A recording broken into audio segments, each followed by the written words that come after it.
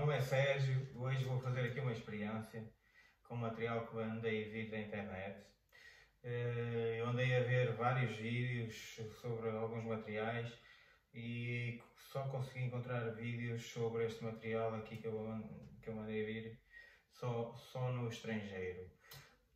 Eh, eu estava muito ciente em, em, em comprar uma bicicleta elétrica e então, hum, e então pus-me a ver quais eram as melhores bicicletas, andei por aí a investigar, até que pensei, porra, eu tenho uma na garagem hum, que está parada, e se eu conseguisse transformar aquilo numa, numa bicicleta elétrica? É uma bicicleta boa, é uma marca boa, um quadro espetacular em alumínio, uh, os pneus impecáveis, uh, já andei bastante com ela e pronto, é uma bicicleta que eu gosto bastante, então decidi, vou tentar transformá-la numa bicicleta elétrica. E é assim, a gente vê aí muitos kits na internet, no AliExpress principalmente, mas é tantos fios, tão complicado, e depois acertar com, a, com, a, com o tamanho da roda, é, é complicado. Eu queria uma coisa fácil de montar, comprei isto, não sei o que é que isto vai dar, vi alguns vídeos no estrangeiro, principalmente franceses e ingleses, no, de ingleses no, no no YouTube e vou ver o que é que sai daqui, se eu consigo montar isto facilmente. Para já, este vídeo é só do unboxing, depois vou tentar lançar alguns vídeos, eu sou amador nisto, vou tentar lançar alguns vídeos um, mais tarde sobre, sobre a montagem e as reparações que vou ter de fazer na minha bicicleta. Portanto, se quiserem acompanhar, subscrevam o canal. Isto não é um canal profissional, é mesmo amador, totalmente amador. Subscrevam e, e deem sugestões. As sugestões são muito importantes para este tipo para este tipo de conteúdo, porque eu não faço a mínima ideia o que é que estou a fazer e vamos ver como é que, o que é que isto vai dar no futuro. Portanto, vamos começar aqui a abrir isto. Esta caixa é bem em bom estado. Aqui a fita cola já está um bocadinho aberta, mas com uma caixa bem cintada o fornecedor tinha, tinha armazém cá na Europa, mas o, a configuração que eu fiz para a minha bicicleta, eles disseram que não tinham estoque uh, cá na Europa, no armazém da Europa, que acho que é na Polónia, então veio mesmo da China. Isto demorou ainda quase um mês a chegar. Uh, vamos, as cintas estão boas, vamos remover as cintas. Portanto, acho que o que está lá dentro está tudo intacto, sem qualquer problema. Cá está, vamos tirar isto. Aqui um bocadinho. Como bem, eu não tenho jeitinho por estas coisas, mas vamos ver o que é que sai daqui. Já tenho aqui mais uma cinta do lado, portanto isto tem, está bem, está mesmo bem protegido. Vamos ver se o que está lá dentro continua bem protegido. Ok, acho que esta parte é de cima, tem aqui as setinhas para cima, acho que conseguem ver aqui deste lado, portanto acho que está na posição correta. Cuidado com estes, com estes xizados, que são muito perigosos. Sempre que usem, voltem a fechá-lo, porque às vezes podem acontecer acidentes. Ok, cartão, mais cartão. Vamos ver. Vou tentar mostrar isto da melhor. Parece estar bem acondicionado. Ok. Deixa eu ver se eu consigo mostrar isto bem. Eh, portanto, isto é uma roda que está aqui dentro. Ah, uma roda não, um aro. Um aro e o vejo é um motor. É, está de acordo com aquilo que estava na internet. Agora, isto são pequenas caixas que estão aqui do lado. Vou tirar uma a uma. Deixem ver. Aqui tem qualquer coisa dentro. Vamos ver. Ok. Ver. Ok, já não tem nada. Tem esta caixinha. Que é um suporte para o telefone. Uhum. Ok, isto é. Eu por acaso já tenho um na minha bicicleta, mas tenho de ver o que é que é. Parece ser um bocadinho frágil.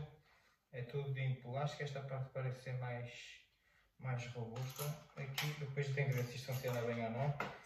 Aqui também é uma etiquetazinha. Isto deve ser para o telefone não escorregar, exato. Cola-se aqui, depois o telefone não escorrega e isto, isto engarra.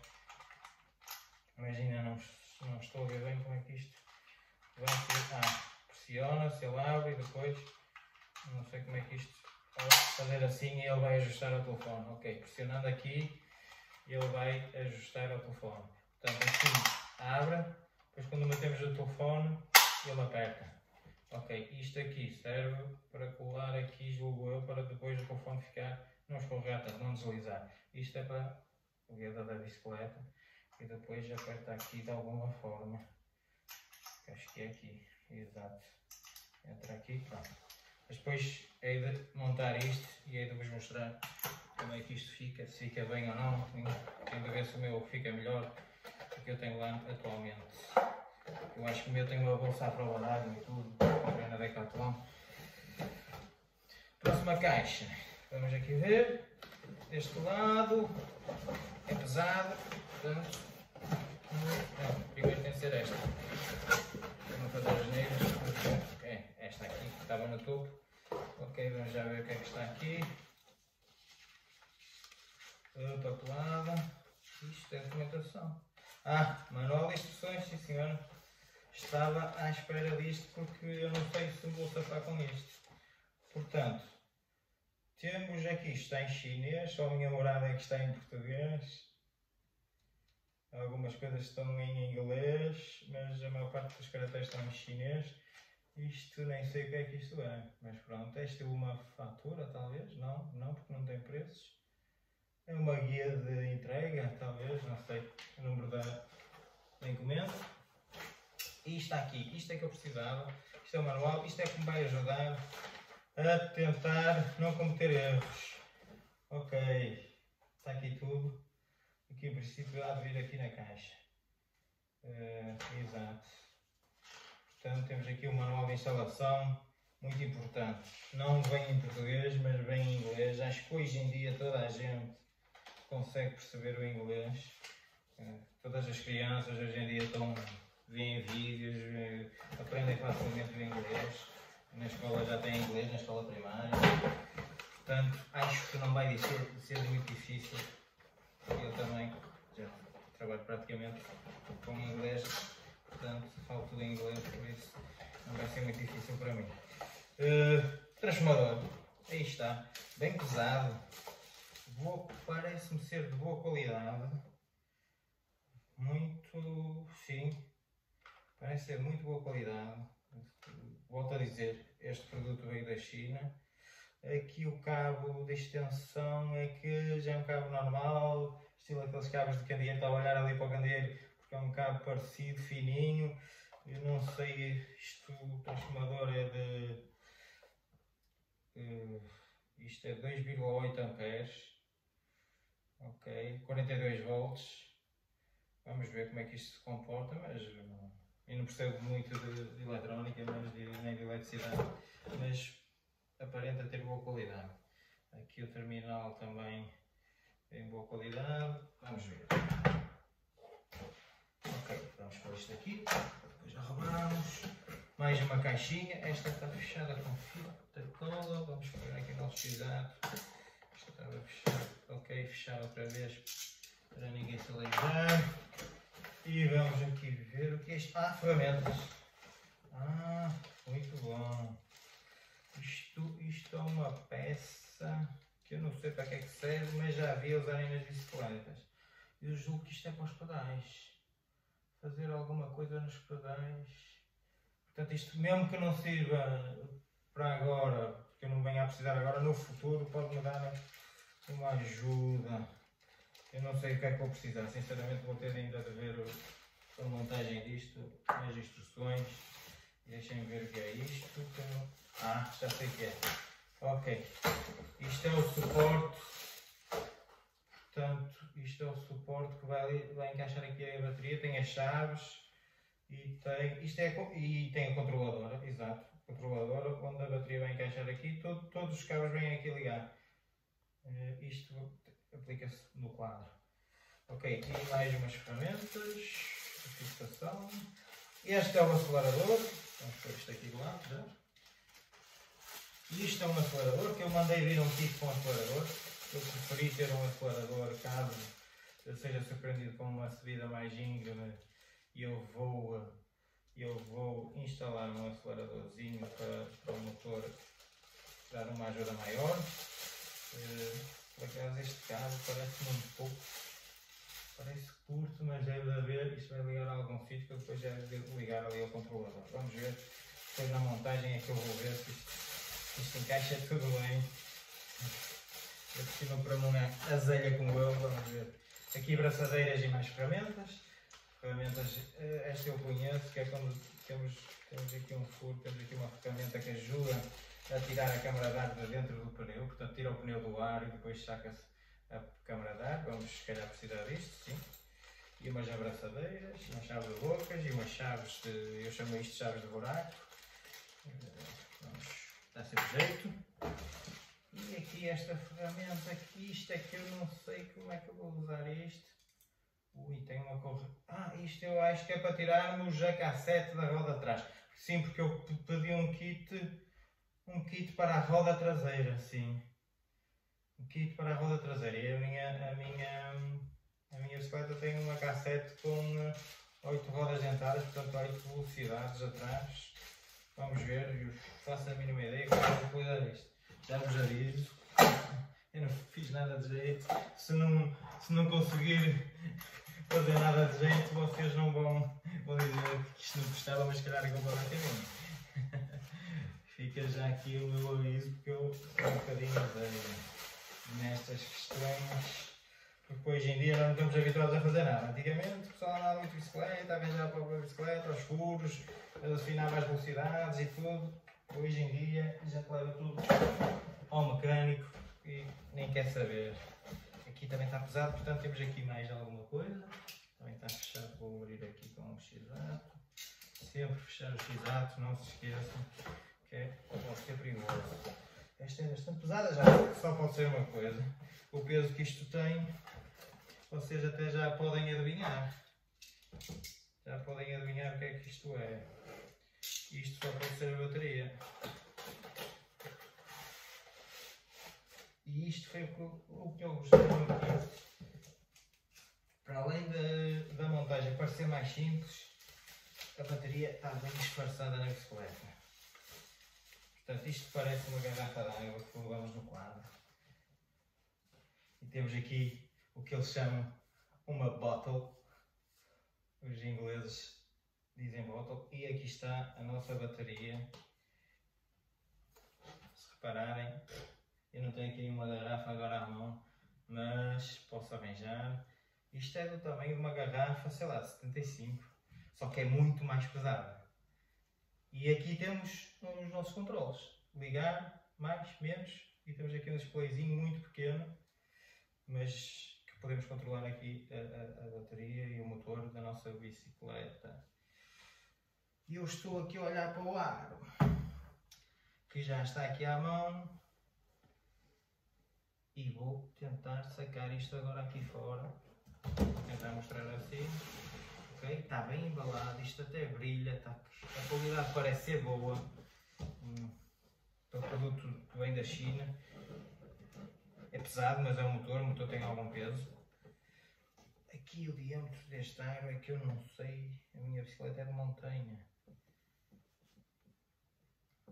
Eu na altura questionei, eh, eles disseram que que dava para uma bicicleta de montanha sem problema algum, mas eu penso que o meu ar é mais largo que isto. Ui, espero que não te devolver nada. Pronto, e isto é os raios em preto, está bonito, motor em preto, o eixo, cabinho para interligar ali na, na controladora onde vai encaixar a, a, a bateria para já tudo bem. O único senão é mesmo este diâmetro aqui onde vai encaixar o pneu. Eu não tenho a certeza se isto é o mesmo diâmetro da minha bicicleta. E eles, a única coisa que me pediram era o tamanho da roda, a roda é 26, isso eu tinha a certeza. Fui ver na minha bicicleta e no próprio pneu diz. Só que isto parece-me bastante estreito. Vamos ver. Vamos ver. Vamos ver só aqui a referência do motor, o que é que diz aqui. Portanto, 100G, que é a marca. Isto, a marca é Geeko. Uh, depois eu meto os links, uh, o link para o site na descrição. Isto é um motor de 350 watts, eu escolhi 350, está certo.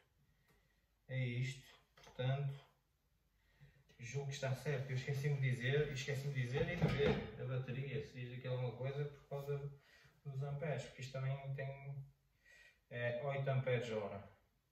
É isto. 250 watts, 8 amperes hora. Esta não é das mais fracas, ela sim é uma mais baratinha. Eu escolhi uma melhorzinha um bocado, por isso é que ela é mais pesada, para ter um bocadinho mais de autonomia. Portanto, vamos ver como é que isto se comporta. Depois de montado, tenho que fazer uns testes. Eu continuo a olhar para o ar. O ar, o tamanho parece-me ser, portanto, o diâmetro, acho que é o correto. A espessura aqui do ar, e mais uma vez vou-vos vou dizer, eu não percebo nada disto.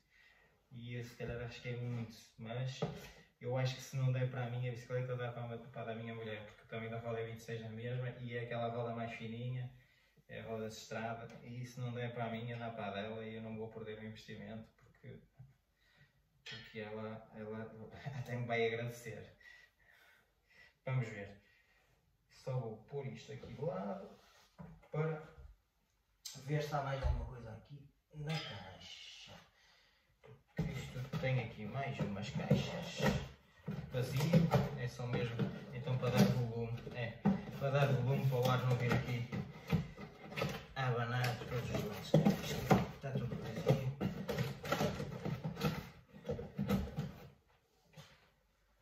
É isto mesmo. Pronto. Vou pôr agora tudo aqui porque eu não vou montar já. Só estou a ver se está tudo bem. E veio tudo, o material que eu encomendei, a configuração que eu fiz está toda aqui. E está tudo direitinho, bem embalado, nada de, não vejo aqui nenhum dano, portanto eh, está tudo impecável. Portanto, vou-vos só mostrar aqui mais uma vez. O manual é isto, vou tentar aproximar um bocadinho. Está aqui a marca. Se conseguem ver aqui, uh, imitar uma bicicleta, mas isto quer dizer 100G. Se meterem no Google conseguem ver bem. O, a marca é Gecko E-Bike Kit Manual Gecko e-bike, eles têm vários kits para montar em diferentes cenários, portanto é só, é só pesquisarem na net e vão conseguir encontrar o fabricante. Mais uma vez, eles têm armazena na Europa, podem não ter o kit disponível na Europa, aquele que vocês querem, e aí têm de esperar um mês como eu esperei. Já estava aqui a afinar, a minha mulher já dizia, ai, já, já perdeste quase uh, mais, foi à volta de 550 euros. Eu perdi um bocadinho a cabeça, mas eu gosto mesmo muito da bicicleta que tenho e então optei por, uh, por fazer, por transformá-la, por tentar transformá-la e vamos, vamos ver o que é que isto vai dar. Já sabem, metam aí os comentários, digam se gostaram do vídeo, se não, uh, o que é que eu fiz mal, o que é que eu fiz bem sugestões, se, conhe se conheciam já isto em Portugal. Há um kit muito parecido que é o Switch Bike, mas eu não gostei muito porque aquilo acho que é só para a roda da frente. Posso estar enganado e podem já ter evoluído o kit. E depois aquilo também tem de se fazer estilo uma pré-encomenda e se calhar demora o mesmo tempo, se calhar não mês ou mais. Mas esse kit acho que até vem da Europa, é fabricado na Europa, não tenho a certeza. Mas houve ali coisas, eu vi vários feedbacks àquele kit, houve coisas que não, não gostaram muito. E eu queria um kit para a roda de trás, porque na roda da frente, a tração da frente pode-nos, por experiência que eu tenho, não sou nenhum ciclista profissional, sou puramente passeio e amador, mas acho que podia criar ali um, uma rapagem e facilmente a gente podia ter um acidente se o kit não ficasse muito bem instalado, se fosse, tivesse até demasiada potência para o tipo de bicicleta ou para o peso que temos, não, não sei, não, não, não, não, gostei muito e cheguei a ver algumas quedas na, em alguns vídeos, por isso não, optei por este, na roda de trás. E parecia-me o mais simples, a nível de cabelagem não há muita coisa, não há nada de travões, que a maior parte dos kits tem sensores nos travões e tem-se trocar os travões, e, e, este não, este não, nem, nem, nem é necessário nenhum sensor na roda pedaleira, porque o próprio, o próprio motor tem um sensor que quando deixamos de pedalar, a roda, a roda H7 de trás deixa de exercer força no eixo e ele sabe que eh, é para parar o motor. E espero que, que seja mesmo que a tecnologia esteja a funcionar bem, Por isso é que eu escolhi este motor. Portanto, já sabem, e por enquanto vou ficar por aqui. Eh, já fiz o unboxing. Eh, em breve vou tentar descobrir onde é que está a minha bicicleta. A minha bicicleta está na garagem, está lá arrumada. Já há algum tempo que eu não ando com ela. Eh, e vamos, vamos pegar nela, vamos ver como é que ela está e depois vamos montar o kit e vou tentar fazer uns vídeos sobre isso também. Ok? Força pessoal, obrigado pela, pelo like se quiserem e façam as vossas sugestões que é muito importante para mim. Eh, já vos disse, sou amador e não, não tenho interesse nenhum em, em fazer disto profissão, mas apenas ajudar a, a, o pessoal. E, mas pronto, é sempre bom ter comentários e tentar melhorar o nosso, os nossos vídeos. Obrigado, até logo, fiquem aí, até à próxima.